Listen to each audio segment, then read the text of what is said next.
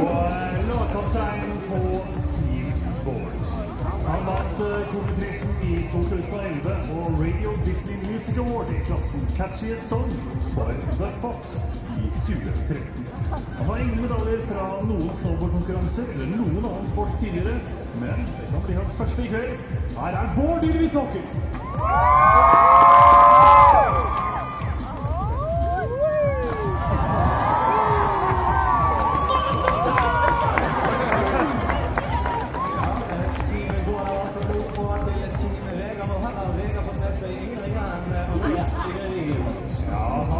To gull fra X Games, der han også har vunnet prisen for beste triks. Han har blitt kåret til tiårets norske snowboardkjører, og hadde egentlig bestemt seg for å legge opp på toppnivå før han fikk tilbud om å delta i Y-Games.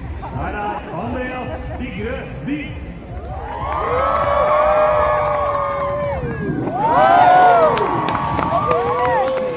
Vaccinert.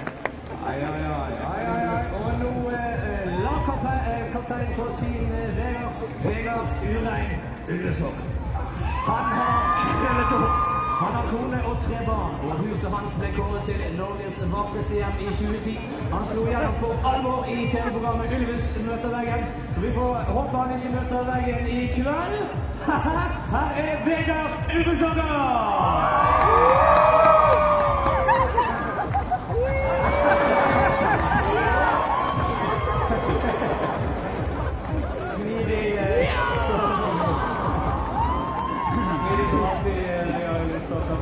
Men som en katt.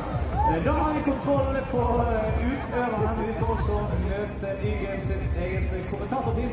Karsten Skjelbreid og ekspertkommentator Thomas Hafstad, er dere med oss på balkongen? Vi er med dere, Kalle, og vi er jo fryktelig, fryktelig, fryktelig spente.